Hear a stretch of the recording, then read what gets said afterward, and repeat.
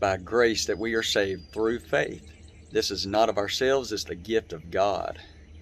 Jesus Christ came into the world to save sinners.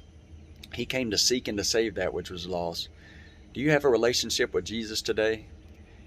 Today, if you would confess with your mouth Christ Jesus is Lord and believe in your heart that God raised him from the dead, you can be saved. With the mouth, you confess unto salvation. With the heart, you believe unto righteousness.